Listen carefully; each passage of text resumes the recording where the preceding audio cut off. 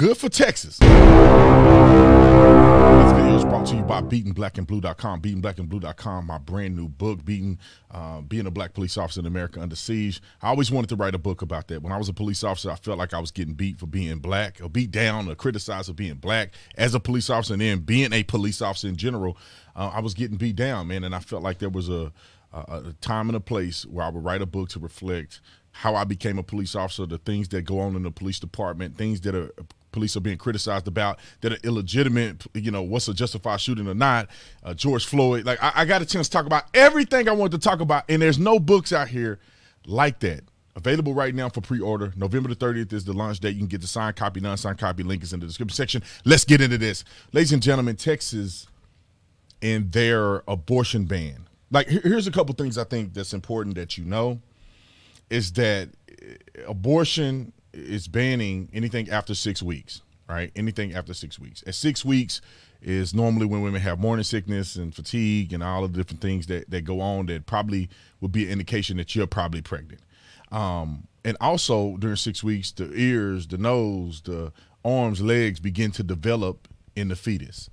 Um, it, it, of course, it's little. I, I don't think this is a an example of it. This is a little further along. Of course, it's little, but it, unobstructed, it's going to turn into a person like me. So that's why I feel like abortion is never the the right solution to the problem. And, and let me let me make this statement. I want to be very clear for anybody watching this. I am pro life and pro choice. Let me let me explain why I say that. I am pro life because I believe that life starts at conception, not perception. And once you get doing the nitty gritty and that conception happens, that is a human life unobstructed, that is a human life. Now, when I say I'm pro choice, meaning that you had a choice, either in the bedroom on the couch, you had a choice. You in there bumping and grinding, pumping and sweating, and now you got a kid. Your choice was in the bedroom or wherever y'all was at. Your choice ain't at the hospital. Your choice ain't at the clinic. I, am just leaving it out there. And I know there's people going to say, well, Brandon, what about raping? What about raping, incest and all this other stuff? It's funny that people bring it up because that's less than 1% of all of these cases. I'm talking about the 99.9% of y'all, or whatever that number is. At, at, the bare minimum, it's 99% of y'all. I'm talking about what y'all doing. Completely preventable.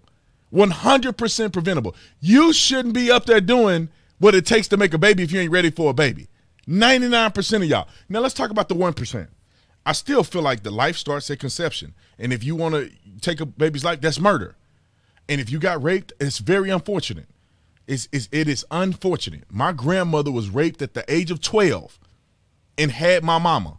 Thank God she did, or I wouldn't be here. So it's not the baby's fault that that happened to you. And in many cases, it's not your fault. You had nothing to do with that. That person should go to hell and burn. But at the end of the day, it's not the baby's fault. And you can give that baby up for adoption. You can you can use other choices. If it's incest or whatever the case may be, you can use other choices. There's other ways to handle these situations than just taking the life. But let me reiterate 99% of what's going on here are people who are making decisions to be to, to, to be involved with one another. Like I say on my live streams, they want to play video games. And then when the rubber hits the road, they want to say, oh no, my career is more important well, you shouldn't have been laying up. I'm not going to say nothing. See, if you followed the Bible, we wouldn't have a problem with this. You shouldn't fornicate. It's very simple. You shouldn't fornicate.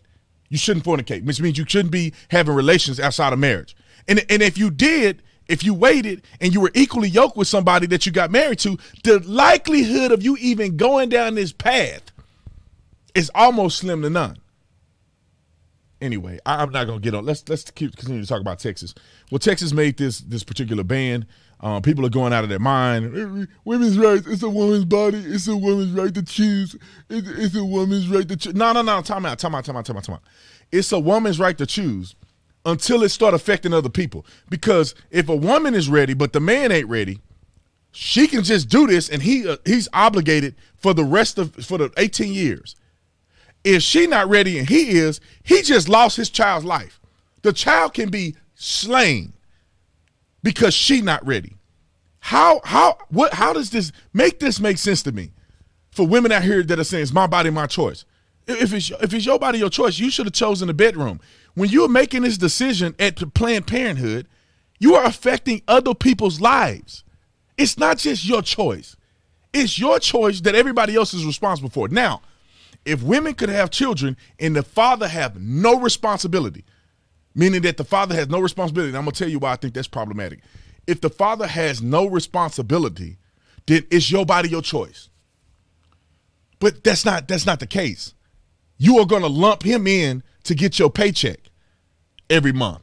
You're gonna lump him in to, to make him responsible for for y'all's decision, although it was your decision to, to kill or to, to, to keep alive. That's the problem. That's the problem that I have. You want your cake and eat it too. You want to say, oh, I could do as much sleeping around and, and building my mileage, getting bodies, but then I don't want the re repercussions of the fallout. I want to have the pleasure without the pain. You can't, that ain't how it works, young lady. So if y'all want to learn more about this, you can go on the, the Tatum Report. We wrote an incredible article article about this. Uh, River wrote this article. She won uh, uh, Writer of the Month last month. So shout out to River for writing this article. Incredible article. You can you can click here, look at the law. I'll put this in the description section. Um, I think that this should be mandated across the United States of America. You're talking about you talk. Uh, you're referring to a. If you want to make this a federal thing, it should be a federal protection of of the unborn. It should be a federal protection of the unborn, which means that we are protecting the life of the unborn, which I would argue is a is a constitutional violation of somebody's right to life. Uh, you you have a right to live. Just because your mama was was was uh, you know, I ain't gonna. I don't even want to disparage women like this, but just because your mom was sleeping and creeping, don't mean that you got to die over it. That ain't, ain't your fault. That's her fault. You should be able to live and we should we should bolster uh, alternate opportunity, right?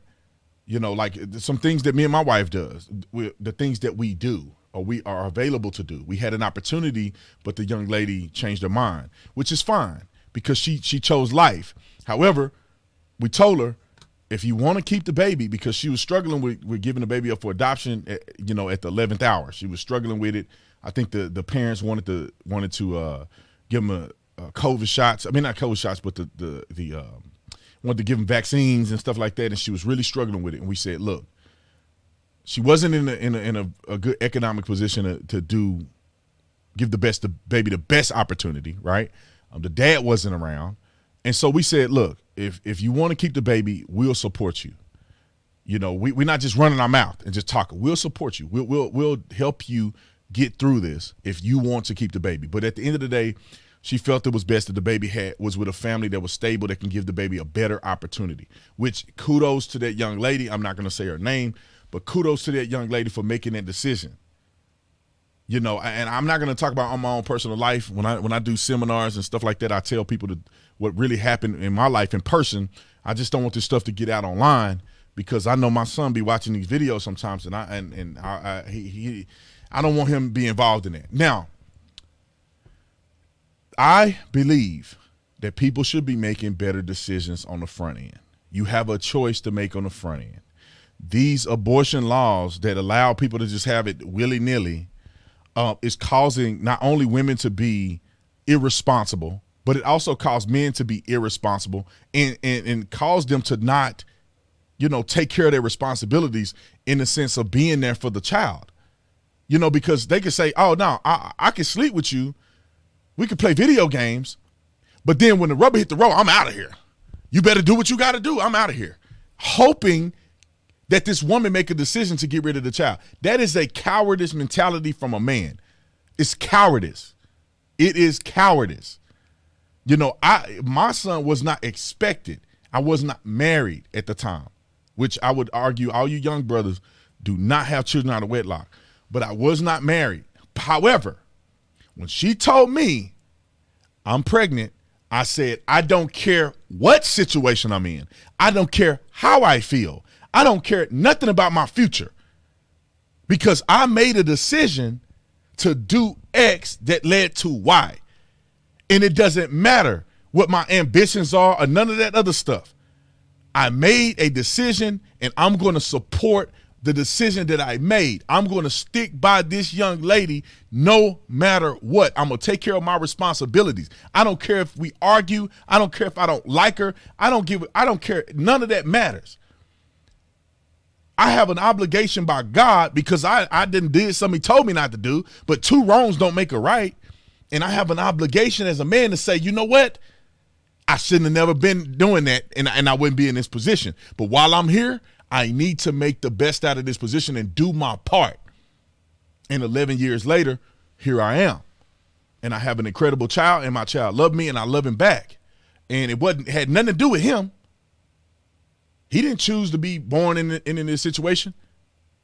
But as an adult, as a man, you take responsibility for your actions. And I guarantee you, if women wouldn't, you couldn't force them to go to a clinic somewhere. How many men would be willing to, you know, to play video games and then and then dash? Not too many because you you play them and you dash, you you caught on the hook.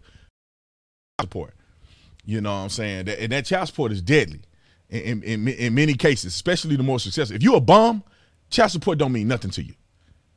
If you're getting paid under the table, child support means nothing to you. You don't have to do nothing. You have no obligations.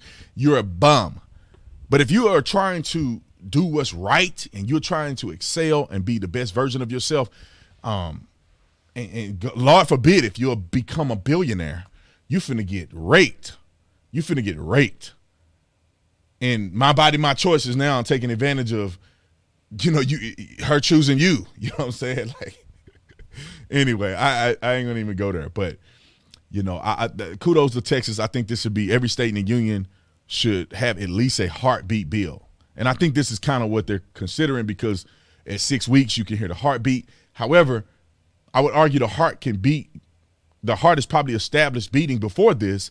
Is just that the ultrasound can pick up the heartbeat at the frequency at least at six weeks. So I think every state should adopt this. Stop being a slut.